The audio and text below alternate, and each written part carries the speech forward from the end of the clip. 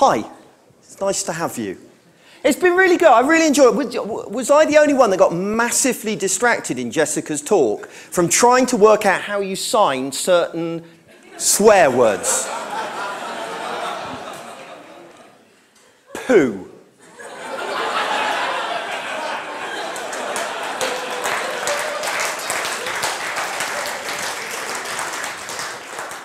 No, I'm not going to do another one. I got a look. I thought I'm in trouble now. Right, unbelievable e-commerce. That's what I'm, I'm supposed to be talking about today. And uh, every, when I got asked to do this, in fact, every time I've been asked to do this talk, I've gone, really? Really, you want me to give this talk? Because to me, it just sounds like an awful kind of infomercial you'd see on American TV. Um, and, and I wrote, the, I wrote this, this, the kind of outline for this presentation at a conference I didn't want to speak at, right? And so I thought, okay, I'm going to write this really salesy, kind of terrible, kind of marketing, aren't we wonderful outline that won't get accepted. And it got accepted. And actually, the presentation seemed to go down really well. So, um, but I was so embarrassed by it that I've had to change it, it quite regularly. And, and actually, now it's not, right? It's not this kind of horribly embarrassing thing that it, it may first appear to be um, because they fired us, right? The client that I'm going to talk about today fired us relatively recently. And I'll make, I could make up all kinds of excuses as to why they fired us. I would say things like, well, we just didn't want to grow to accommodate how big they'd become because of the successful work we did for them. Um, and bullshit like that, but basically they decided after eight years to move on. Fair enough. So this isn't a sales pitch. Um, it's actually a case study. It's a case study, really, in our experience of, of working on an e commerce site over a period of, of, of, eight years. In fact, the case study I'm going to look at today um, covers a period of five years. And the reason that I've picked those particular five years is because after that, they were going, hang on a minute, this e commerce, this is working. And so they started pouring huge amounts of money into marketing and advertising and stuff that we, we didn't influence. So those kinds of things, the growth that they received from that wasn't really down to us, so I haven't included that in here. But basically, it's a case study, but it's not a case study that really is only applicable to those of you that work on e commerce sites. I'm hoping that there's stuff that kind of applies to everybody. Um, a lot of the success isn't down to, to us and, and to my work, um, it's down to other people, and I'm going to talk about that as well. Okay, so, but I feel like I need to embrace this infomercial thing, right? So, we have, no lie, created a 10,000% increase in e commerce sales over five years. It's incredible. Let me say that again that's 10,000% increase in only five years. And I know what you're thinking. This sounds suspicious. How could he possibly have achieved 10,000% in only five years? Well, you might be saying 10,000 is easy if you start from a low base.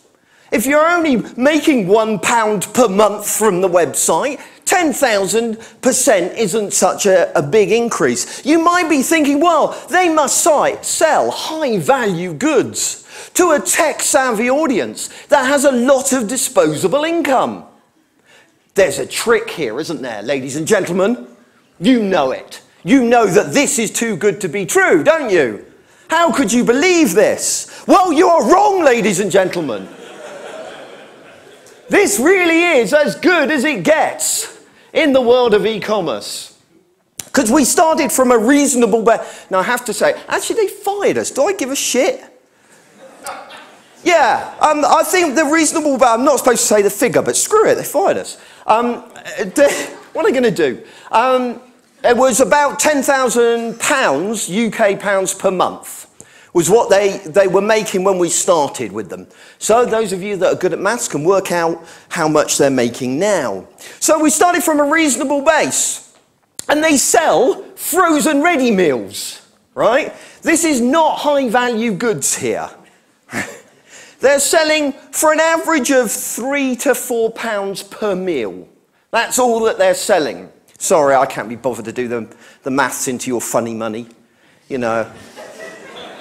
You got plastic money. Who has plastic money? It's just weird. So, frozen ready meals they sell. And they sell it not to a tech savvy audience, but to the elderly, right?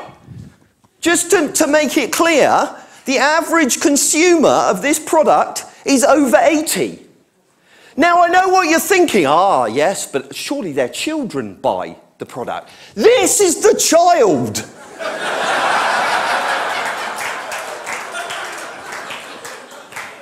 right? So these are not a tech savvy audience. So, ladies and gentlemen, I'm here to say, can you achieve the same thing? I can't keep this up. The chances are, no, you probably can't achieve the same thing, right? There's no way you're going to be able to do this. A 10,000% increase over 10 year, uh, five years was a, a little bit of a fluke, maybe. But I do think that there are lessons that we can learn. Stuff that I've kind of taken away from working on that site that applies, I think, to a lot of stuff that we do. And actually, I think there is a lot we can learn together about, um, about how to build successful websites and what's actually involved in that. And I think there are less lessons in two areas, really.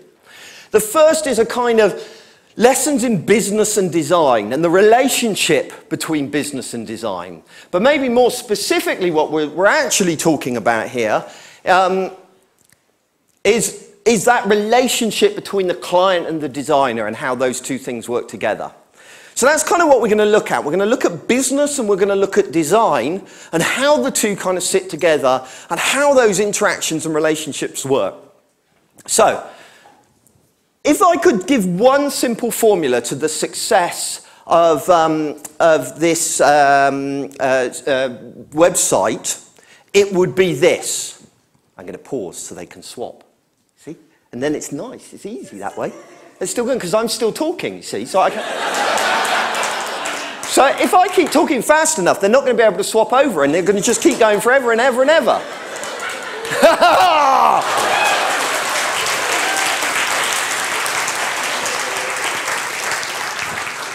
Okay, so if there's one simple formula for success, it would be this work together.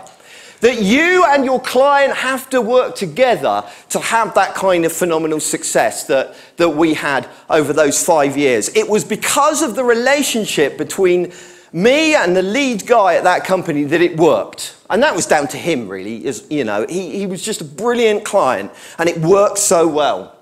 So, Let's start off by looking at the business lessons that I learned from this website and what we can maybe take away. Now, don't get me wrong, I'm not saying that all of this was planned and clever and we kind of worked it all out. It wasn't. It's just kind of how the project worked, all right? So I'm not trying to sound smug here or clever, all right? I'm just trying to share with you some of the things that worked well for us on that particular project and hopefully it applies to you as well. First of all, it's it's absolutely crucial that the client is an integral part of the process. And I think that for me, this whole kind of business thing, really, what I'm sharing you is things that I've learned from Matty Curry, who's the, our client, Matt Curry. And I learned so much from that guy.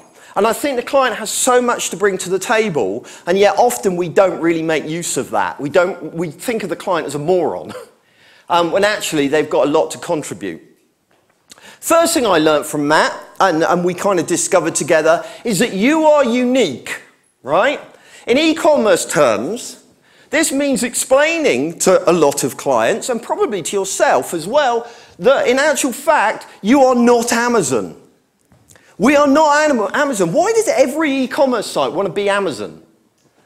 And we get that all the time, don't we? Where some, a client comes to us and says, we want to be like so and so. Can you build me Facebook? You know, the kind of thing? And we're not anybody else. And in the case of this particular client, it was very true. They had a very unique audience, right? This wasn't an Amazon user base. This was a unique audience where the average consumer was in their 80s. And that had certain consequences on the design of the site. For a start, the, this was an audience that, although they were reasonably competent on the internet, lacked confidence, right? They didn't believe that they were doing it right.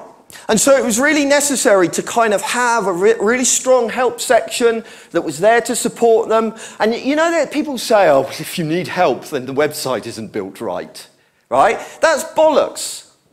The truth is, some people want that reassurance, and this audience was one. So that we had a big telephone number plastered all over the place. They didn't often use it, but they liked to know it was there. So, um, other things that was unique about this audience. Now, this is a bit of a sensitive one. This is constant turnover, and I was thinking, how do I put this?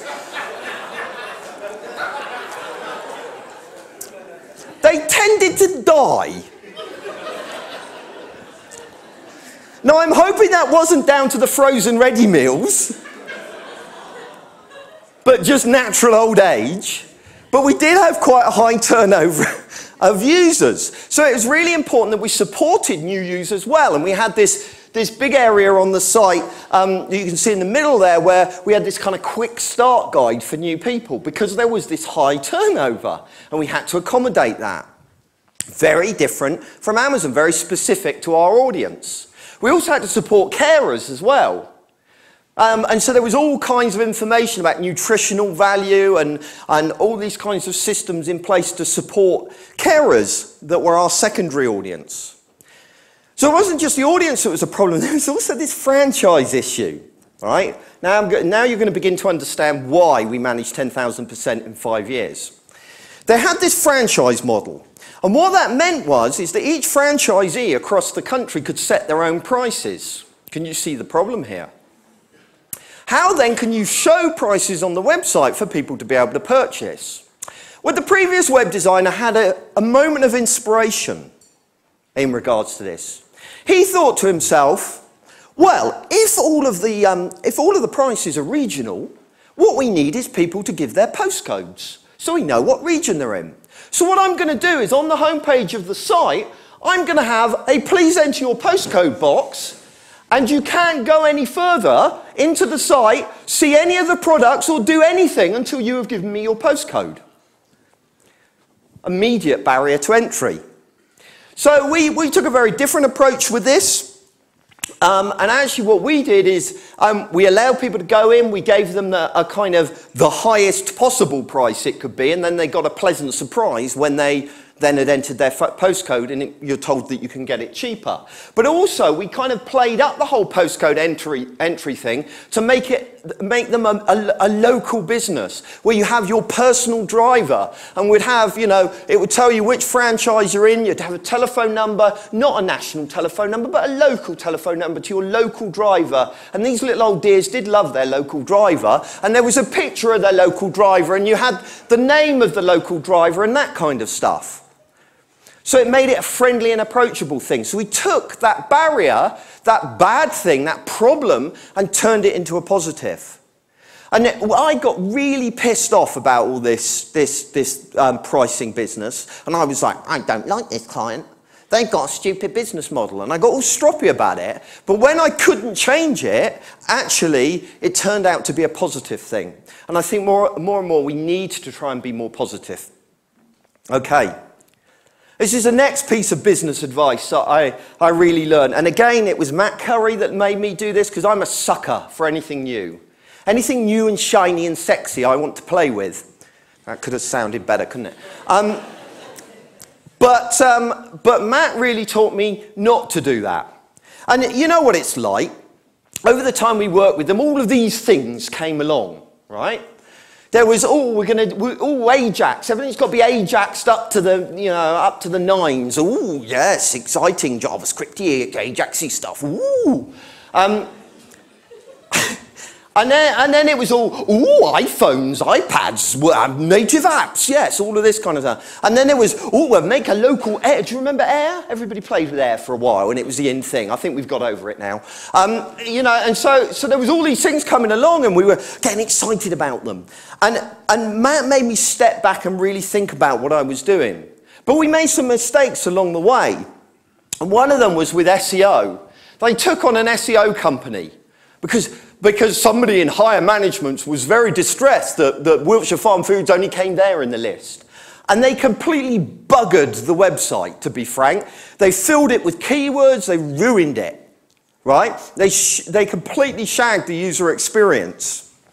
Shagged the user experience. Sorry. I really should stop this. This isn't nice. I don't make friends this way. Right. So, you know, it's about kind of not jumping on the bandwagon. The other thing is, is I was like, oh yeah, we've got this really cool website now. We can dump that printed brochure and save you all the cost of that.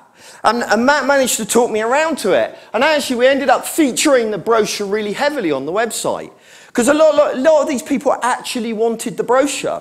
And what we found that they were doing is they were, they were going through their brochure, looking at all their coloured pictures, etc. And they were using the codes that were in the brochure. They were going along to the website and entering their, those codes into the search box.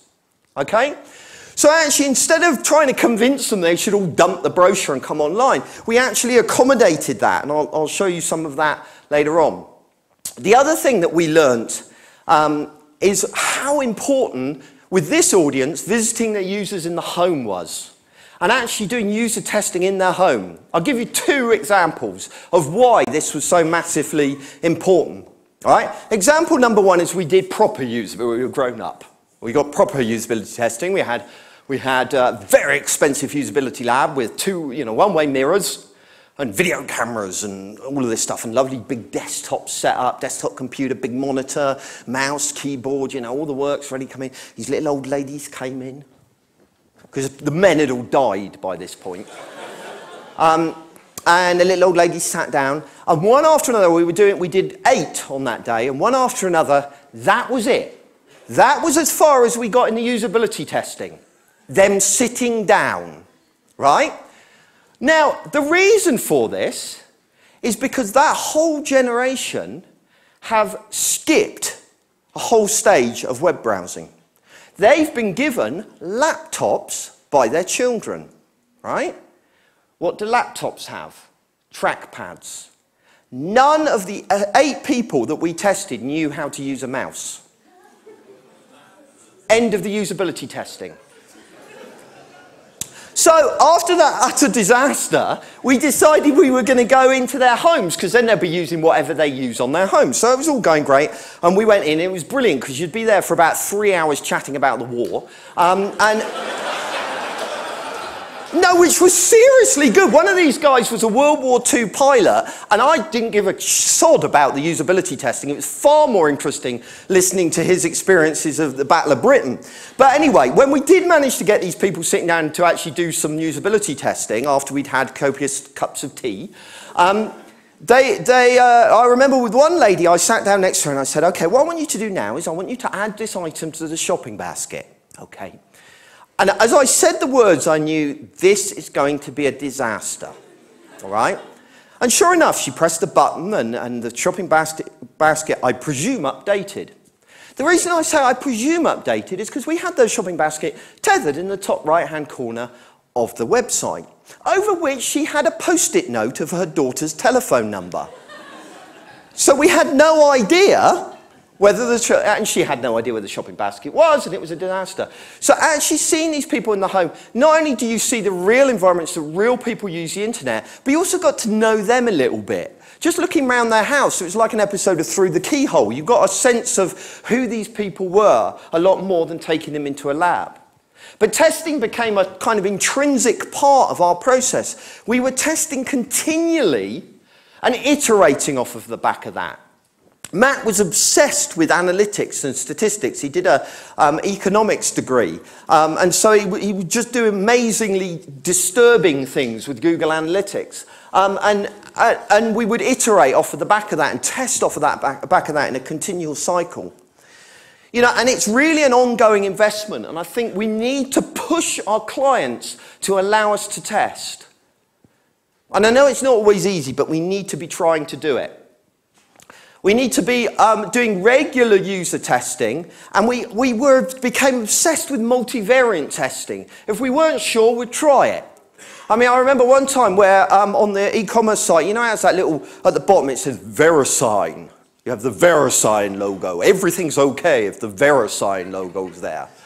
And I, I was going, does anybody know what that means? Right?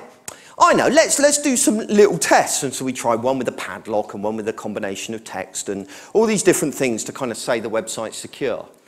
Out of those tests, we tested a load of different multivariants, a load of different ones, and we actually caused a 6% increase in conversions just by getting rid of that stupid logo that's advertising for Ver uh, VeriSign and nothing doesn't communicate any information. So testing, multivariant testing, analytics, all of that stuff is so, so important, and yet we skip by it so often. Also, another key to the success of Wiltshire Farm Foods, um, which is the company, um, is the, the fact that I, it's stuff that I was nothing to do with. And I think oftentimes we need to look above and beyond the website. Okay, we're web designers, we're responsible for the website, but unless we really understand their businesses and really understand the cool stuff that they do and communicate that clearly through the website, you know, we miss out, miss a trick. You know, these guys were competing with the big supermarket chains. So why would you buy from this company rather than the big, you know, super, supermarket campaign? Well, it's the fact that these, these guys kind of went above and beyond in their service. They offered cash on delivery. They had an email 24-7 helpline. They had Facebook um, text. They had police-checked drivers, which if you're a, a, um, you know, an old lady living by yourself, you're worried about who these strange people are turning up at your door. You know, they had unpacking where the people would come in and unpack all of the food for you. You could reorder from the driver at the door, which was horrible for our statistics on our website, because the first order would be placed on the website and that would it. We'd lose them because the, the driver would chat them up and they'd order on the door. But that was okay because that was part of their value uh, added service. They were always, they would, they, these guys would, would deliver through hurricanes and, you know, bad weather and all of that kind of stuff. You would have the same driver week in and week out that would check on them, you know, etc. And those are just the official things. Then there was the things like, you know, taking little old ladies to hospital because they found that the lady's broken a wrist when they've gone round and things like that. So they were, they were absolutely amazing service, and we needed to kind of reflect that on the website and what we did, you know, what we, um, what we were showing. The other thing was establishing a good working, don't read, listen to me, don't read the screen.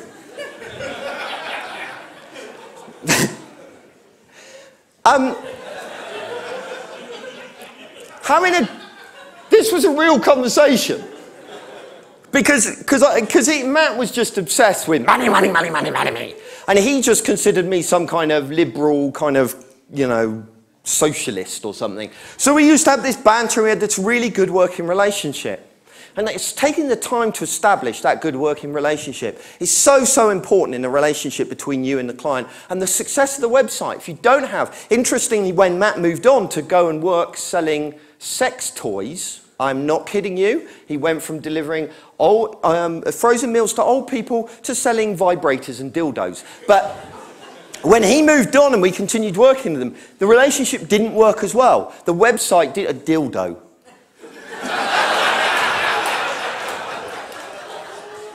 so I'm really sorry. I'm really sorry. Don't swear at me. um, Oh, God, get me out of here. Um, I can't help myself. I've got no impulse control. Um, so, uh, yeah, good working relationship. Right. So that's the kind of businessy side of things. But let's look at design for a minute and some of the design uh, changes that we made. How are we doing time-wise, by the way, Sean?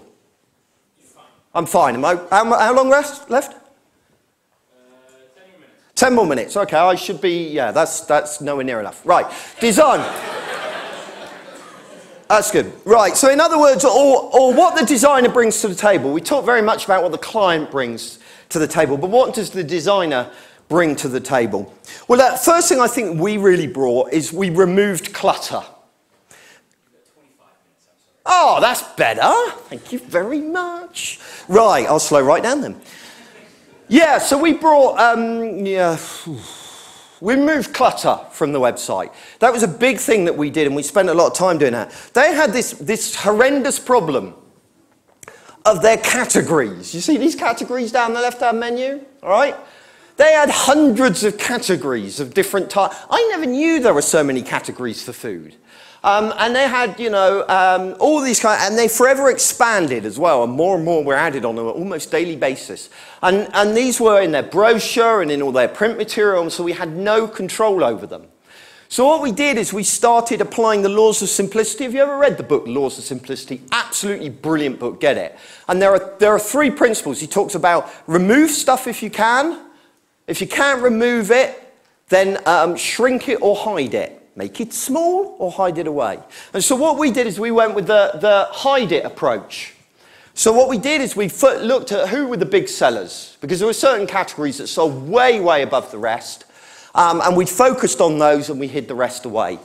Um, and we were starting to remove clutter and simplify the website. Another area we did it in is with um, uh, the, the product listings.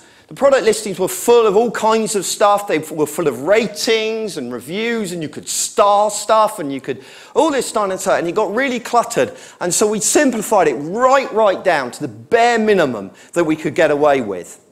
So we, we spent a lot of time removing clutter from the website. And you remember earlier I said about how a lot of these um, women like to um, um, look through the brochure and then take the product codes and put them in search. So what we started to do, we thought, okay, well, there's this whole group of people that really doesn't want the website. They just want to get the food, right? They know what they want and they want to order it. So what we did is we created a separate site for them, um, which was this. And this is kind of minimalistic web design to the, to the extreme, really, where you just enter your house number and your postcode and um, you go through from there and you just type in your, your product codes and how many you wanted and um, you add them to your order and it kind of builds up into, um, you can check that you've got the right thing, obviously, and it just builds up and then you go through and you check out. Simple, clean, none of the clutter, none of the rest of it, just focusing down on what the user wanted to do at any particular time.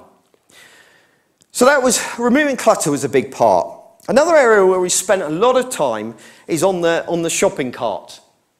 Um, we put a lot of focus and a lot of effort into that because that was a kind of key point of drawing, drawing the user's attention to the most important stuff, basically. Um, so we did, a, we did, we got a bit carried away, really, in this, this regard. Um, so for a start, what we did is um, we, we put the, um, the shopping basket in the top right-hand corner and it had a different colour button that pulled it out. Um, I know this isn't a particularly pretty site, but there are, there are reasons for that. So we pulled the, the, the, the um, shopping basket out, we made it very prominent. Other things that we did is we tethered it to the top so as the user starts scrolling, it remains in the same position and it's always viewable, presuming you haven't got a post-it note over it. Um, and um, so we put a lot of effort into those kinds of things. We also provided a lot of visual feedback. And this was a huge thing because, as I said, this audience lacked confidence. So they wanted to know that they'd done it right, right? That they'd done the right thing and it was all going to plan and everything was okay. And again, we got a little bit carried away with this. So here's a video um, which shows you me adding a product. Right. So count how many visual cues you get. One, it moves up. Two, it appears in the shopping basket up there. Boop, little animation. Three, the box then gets, um, gets changed. It's now got an outline, one in the box. The, the button itself changes to add another and goes yellow. So we like, yes, you have added it to the basket. Hello? Do I need to speak up? You know, so we really kind of rammed that message home. And we were doing that throughout the site. You know, we were obviously doing um, positive reinforcement as well when you're filling in forms, making sure that you say, yeah, you have put in your email address, my love. You know, you don't, you're doing well. I can be rude about this audience now because I don't work for the client anymore, so screw them. My gran would be appalled. Right, um, so yeah, um, and so you were kind of, you know, lots of pos positive reinforcement. The other thing that I think was really important with e-commerce sites generally, but I think particularly with, um, well, no, I think gen uh, websites generally, I think this is an important fact, but e-commerce sites in particular is big product shots, right? There's been a lot, and I think big is generally good when it comes to the web.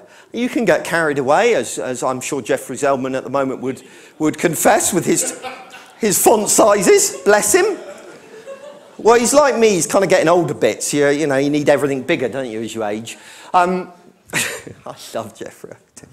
Um, so big product shots were a big thing for this audience. So uh, again, we did this big grid thing that you can see going on here um, with nice big pictures in, associated with them.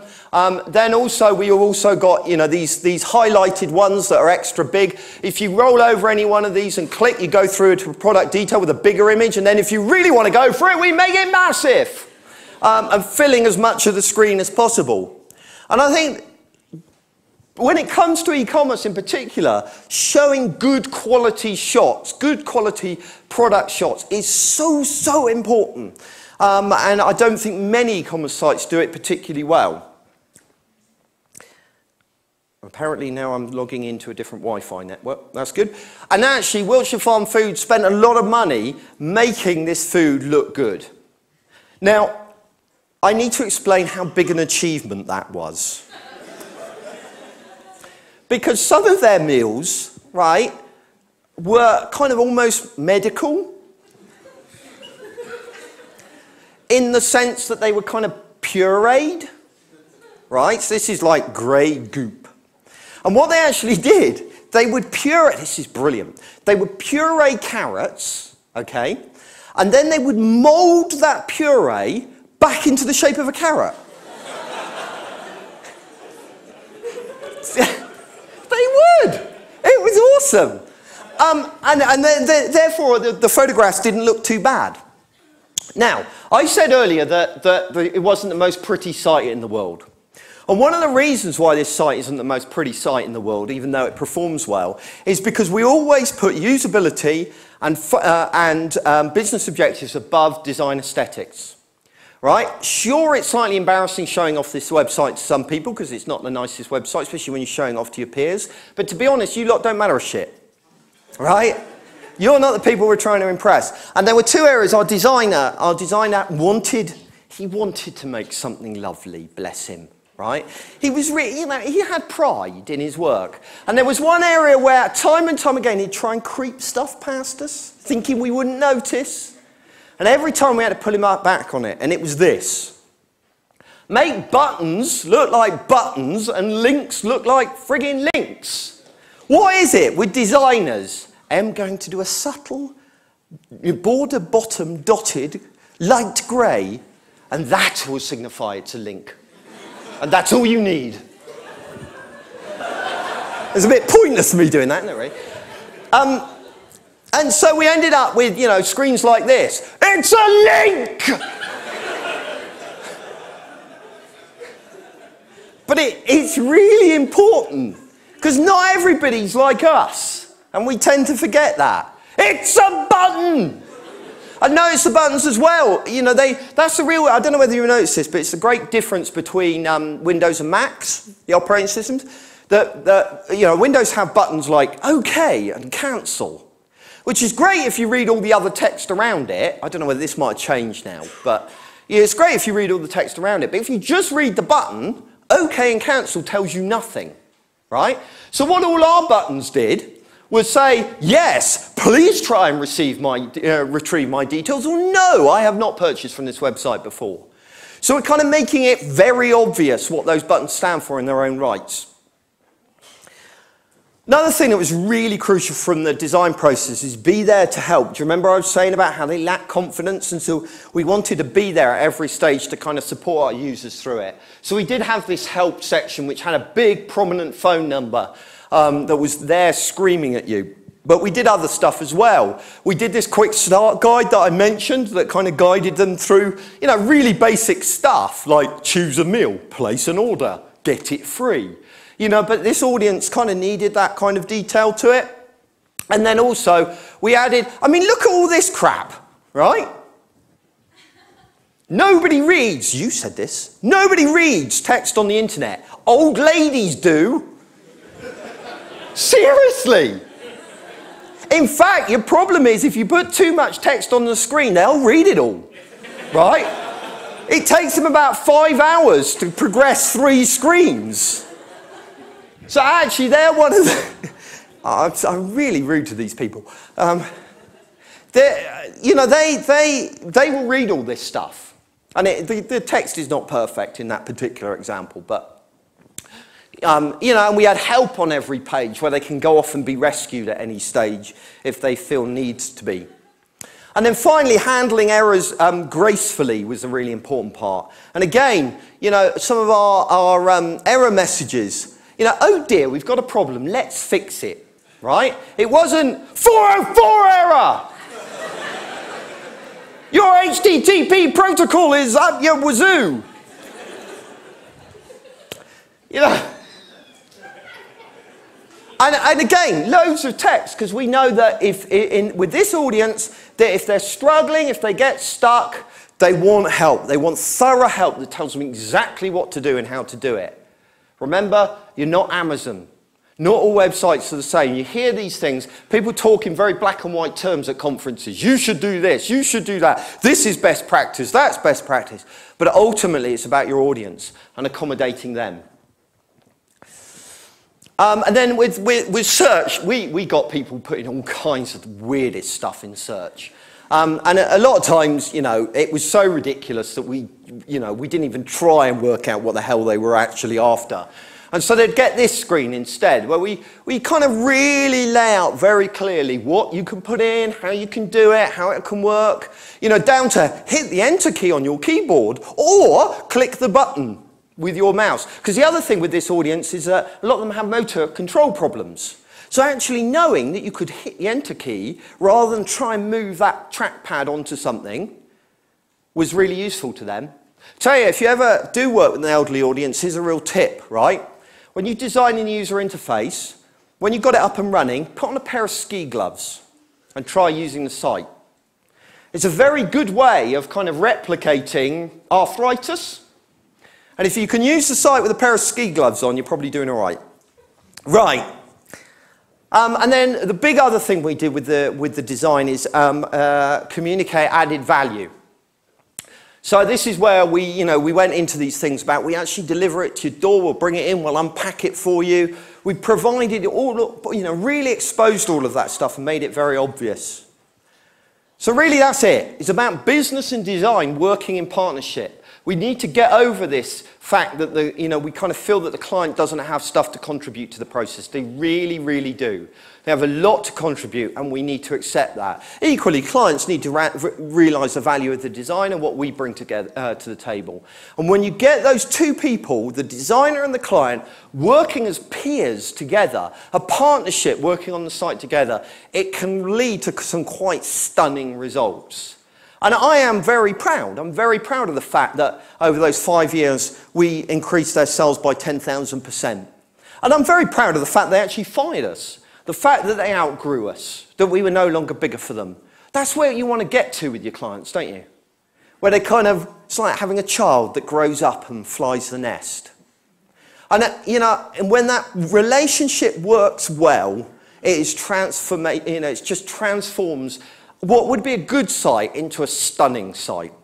And really, that's what I wanted to leave you with. So it's, you know, from the business point of view, it's recognizing that you're unique, not being caught up in whatever the latest thing is. My, my nephew is, thinks Facebook's cool. We need a Facebook page, even though our, you know, our audience never uses Facebook. So avoid sexy. Visit users in their home. If you ever get the chance to do that, do it. Even if you're not being paid by the client to do it, do it anyway. Don't just turn up. You know, do arrange it. But if you get the opportunity, really do that. Test and iterate and go beyond the site and look at the, the business as a whole and what they bring to the table and what benefits they've got and get that right relationship. Invest in that right, relationship. I got, went out and got drunk with Matt more times than I'm willing to admit. And, and just building that kind of personal relationship is so good. And then from a, a design point of view, remove your clutter. Um, if it's an e-commerce site, focus on the cart, but that can equally be focused on your calls to action. You know all of this stuff, but so often mid-project it gets lost. And I see my job here today is just to remind you of what you already know. Provide feedback um, wherever possible to your users. Use big product shots, big imagery, big type. Um, make your buttons obvious. Be there to help. handle errors well, and communicate value. And that is basically it. Thank you very much, guys.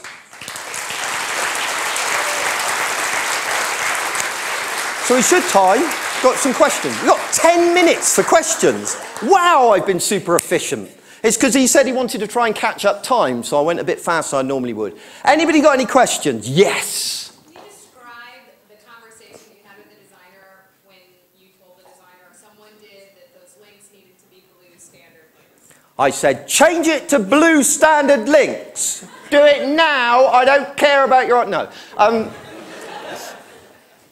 I've, I've got a good, Ed is the designer on that project. I've got a really good working relationship with Ed, and he is a superb designer. And uh, it's, it's the kind of role that we have, right? Uh, you know, his job is to push for aesthetic beauty right? That's what he's always pushing towards. I'm the one, the boring sod, that's always saying, got to be sensible, got to be sensible, got to be sensible. And we do just spar against one another. And that's kind of how it works. And, and sometimes he wins and sometimes I win. And, you know, in, in that particular case, all you needed to do is show him one usability session and he kind of caved, basically. You know, and you would, you know, he's not an unreasonable guy. So he didn't take massive, you know, um, convincing, to be honest. Any more for any more? One down there. Here, I've got the mic. All right. Sorry, I should have repeated your question because you didn't have the mic. Can you uh, briefly just, um, what's your setup as far as um, setting the expectations as far as working with a client from a design perspective? Um, like I, I, have my own little small little design shop, and um, you know you start off skeptical. They come to you solving a business problem, and you're obviously using design as a solution for them. Yeah. Now, how do you get them on board where they're, they're like, okay, put your business hat aside, let's you know, work together with Yeah. what I do. So we're Yeah. a team, because you hear that a lot today with working as a team with your client. Uh-huh. I, I've written an excellent book on that subject called Client-Centric Web Design. I'll give you a fiver afterwards for, for bringing that up. Thank you. Um, where I tackle these kinds of issues about that relationship between you and the client. And there's a, there's a whole talk in that. But um, the, the, the keys is from the very beginning, treat it as a peer-to-peer relationship. And I mean even when you're pitching. Don't, don't go in, yes sir, no sir. That's a very English thing. Um, you know, don't go in as a servant. Go in as an equal. Go in as somebody that, you know, okay, I see where you're coming from, but actually I think we ought to do this. Don't agree to stuff that you're not happy with. Just go in as an equal partner. So that's part of it. Also, then engage them through the entire process. So we have this very collaborative working relationship through design. So we'll sit down and we'll, you know, look at inspirational sources together. We'll mood board together. We'll wireframe together. They're actually in the room while I'm doing that, or we're doing that kind of stuff. So that it's not a situation of, okay, you have passed your brief down from on high, the Ten Commandments of this project. I, your servant, shall go away and I shall, you know, go into my room and, and you know, produce this beautiful design and then go, ta-da! You know, because the trouble is with that scenario is that the client feels no sense of ownership over it. They don't feel it's their design. They don't, don't understand why you've done what you've done. So you've got to lead them through the process from the very beginning. So check out client-centric web design. Yep. That's a short 10 minutes. You're trying to steal time, aren't you? Who we got?